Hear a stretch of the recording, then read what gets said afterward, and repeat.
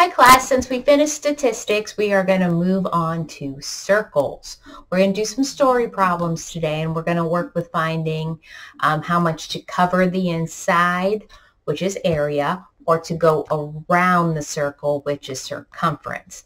But before we can do that, we have to learn two other things about the circle first. Now there are two parts of the circle we need to know. And the first one is called the diameter. So I have my lovely drawn circle here. That's the center. So I can have a line that goes from one side through the center to the other side. That is called the diameter. So every circle has a diameter.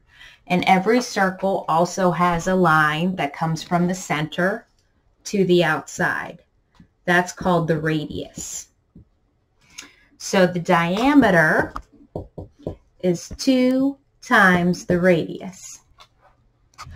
And the radius is half of the diameter. So if I were to tell you the diameter of the circle is 16, so the radius is 16 divided by 2. So my radius would be 8. If I told you the diameter was 20, the radius is 20 divided by 2, which is 10. Now sometimes I might tell you the radius instead. So if I tell you that the radius is 5, to find the diameter, I do 5 times 2, which is 10.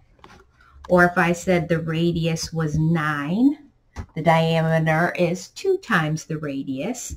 So 2 times 9 is 18.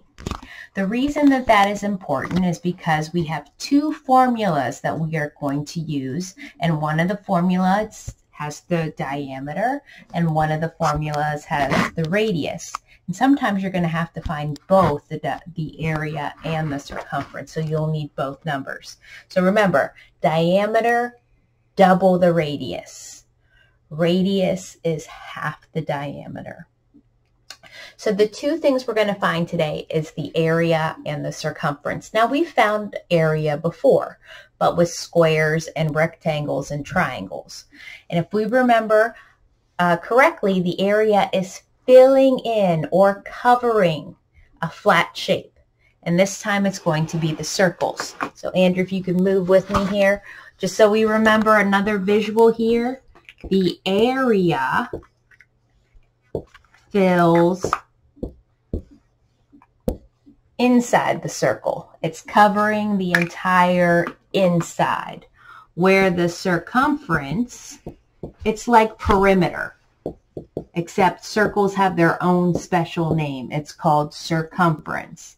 And the circumference uh, goes all the way around the outside. So circumference is around area is inside. Around town. Around the town is circumference. Well, officially SpongeBob now. So, some key words when we're talking circumference. Obviously, what we just said, circumference goes around.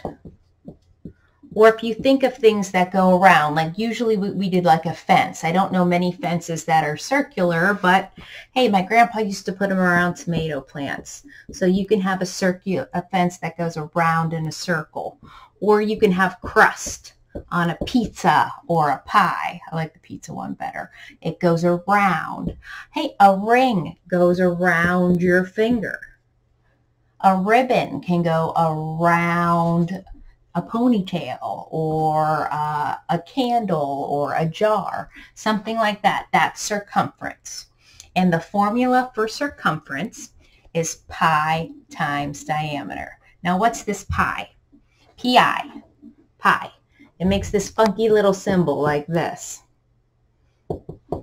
Now, mathematicians came up with pi. And what pi really is, it's that diameter how many times it takes that diameter to go around the circle. So if you would pluck that out of the middle and try to paste it around, it would take 3.14 diameters to make it all the way around the circle. 3.14, 159, blah, blah, it goes on forever. We're just going to use 3.14 because it's a lot easier that way.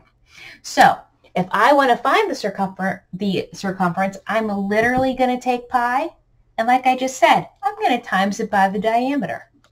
So if the diameter is 5, it would be 5, 5, 5, and whatever 5 times 0.14 is. So circumference equals pi times the diameter. You plug the numbers into the formula, you use your calculator, done. Love it. Now area, we got some different keywords for area. Area covers.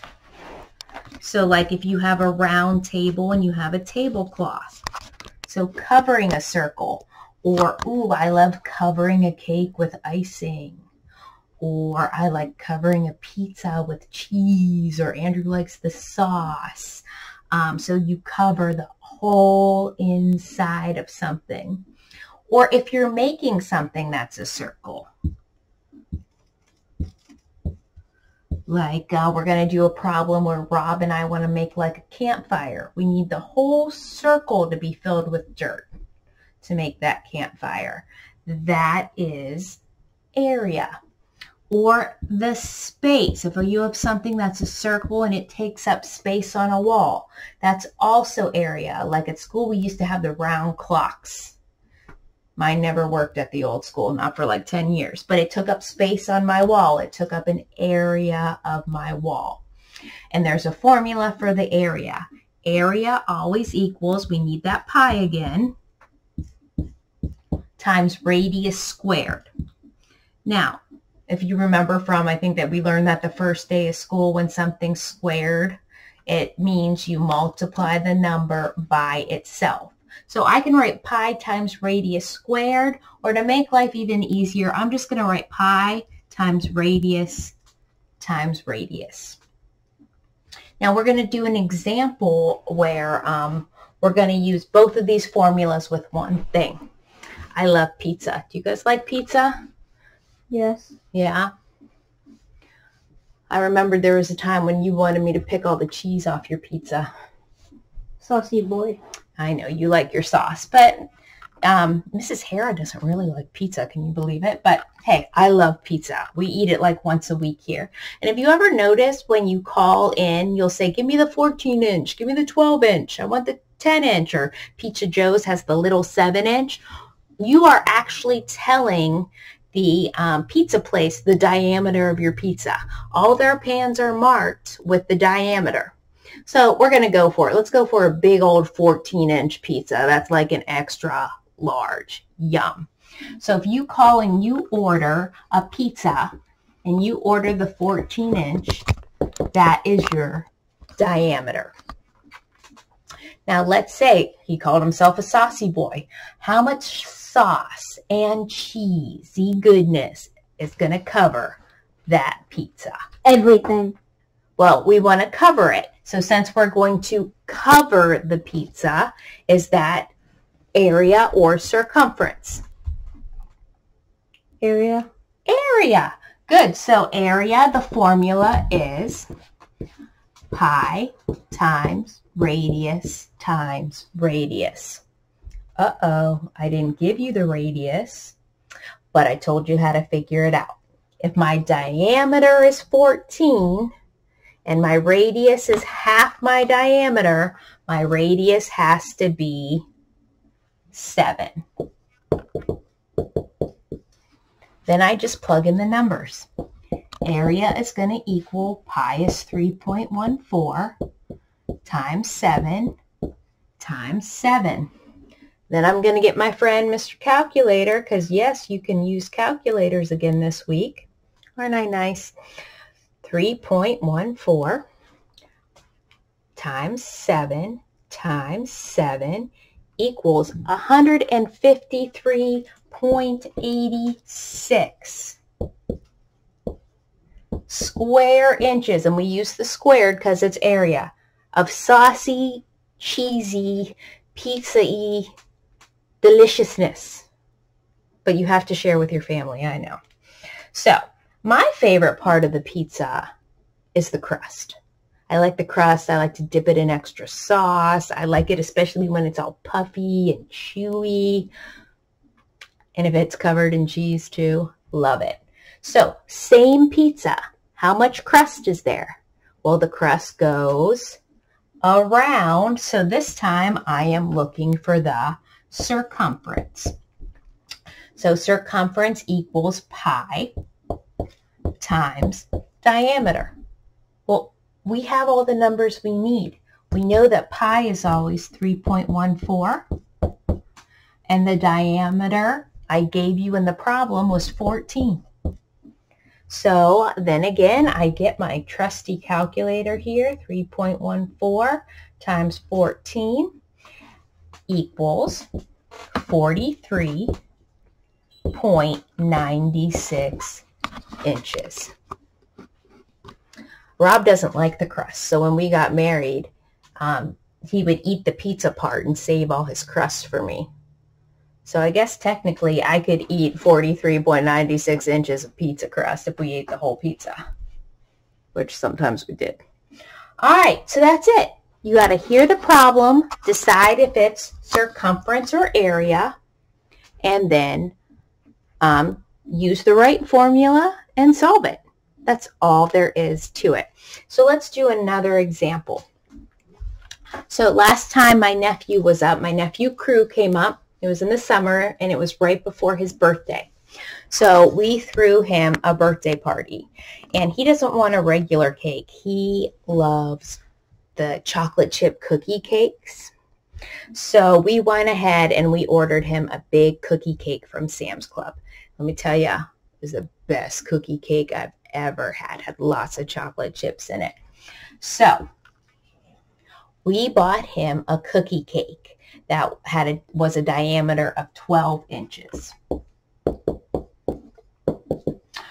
Seriously, within, they were only here for a couple of days, we ate the entire thing.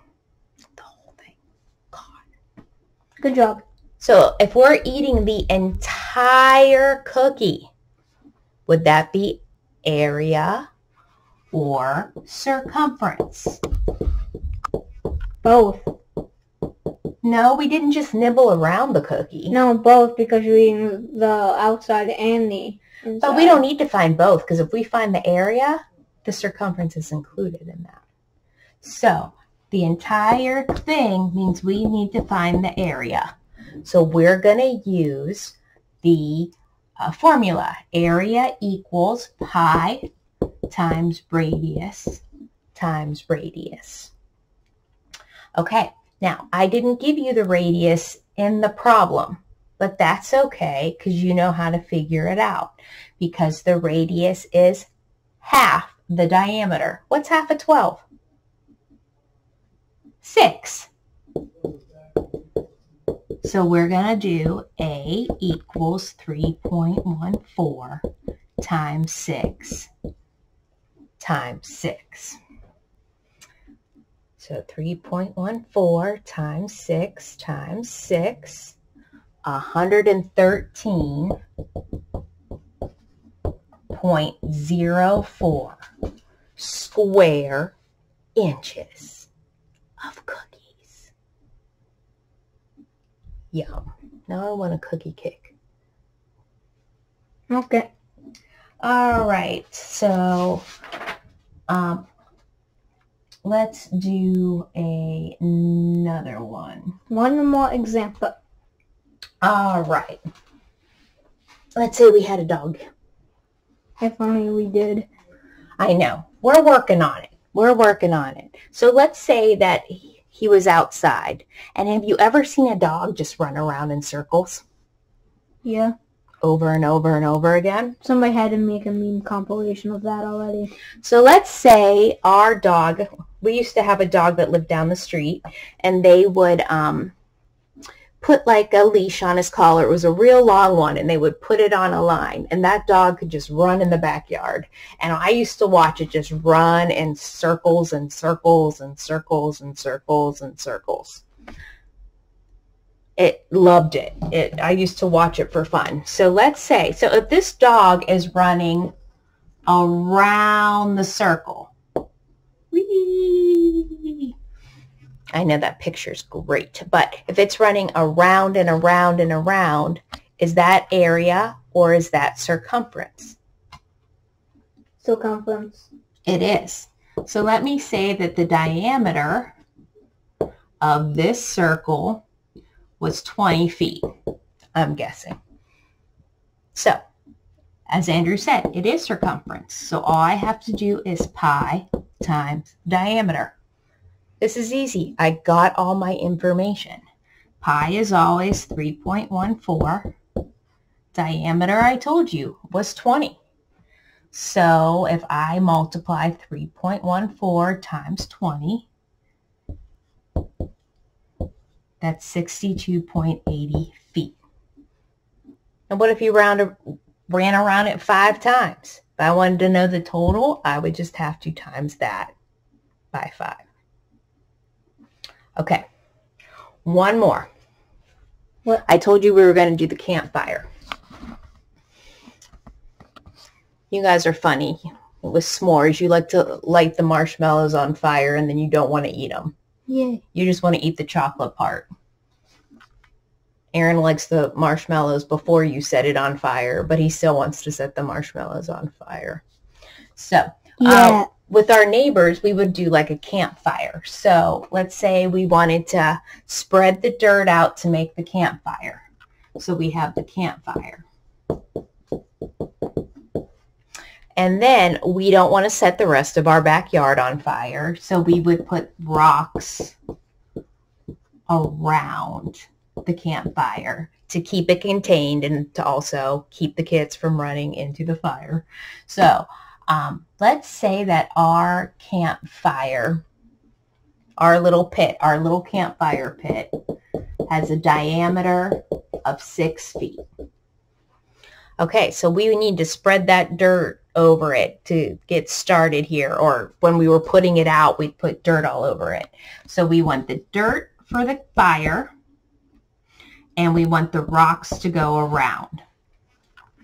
So what would the dirt be? If we're filling that whole circle with dirt, that would be the area. And the rocks going around it is our circumference. Now, I only gave, so again, for finding area, formula for area is pi times radius times radius. Well, I only told you the diameter is 6. Again, the radius is half the diameter. So diameter is 6, my radius is 3. So I'm going to do 3.14 times 3 times 3. Put my calculator somewhere. Here we go. I'm pretty sure the answer is going to be 28.26. And I am correct because I have done this problem hundreds of times in my teaching career. Now the rocks. The rocks, they go around. So that is my circumference. And then the formula for circumference is just pi times diameter. Pi is always 3.14. I gave you the diameter of the campfire is 6. So 3.14 times 6, I believe is 18.86. Let me check my calculator. Oh, 84. I was wrong. 18.84 or that should have been feet. I'm sorry, feet of rocks. And this should have been feet too. If I had uh, inches, that would be, woo, that would be a fun campfire. Whoops. So that's all there is to it. Figure out if it's a round, and if it is, use circumference, which is 3.14 times the diameter. Or if it's covering or making or space something takes up, then it's area, which is 3.14 times radius times radius. And that's all you have to do. So the notes for all of this uh, um, will also be on Google Classroom, so you could look at those. And we'll do some uh, problems together on Zoom tomorrow. But uh, that's all there is with circles today. So have a good day, and I'll see you tomorrow.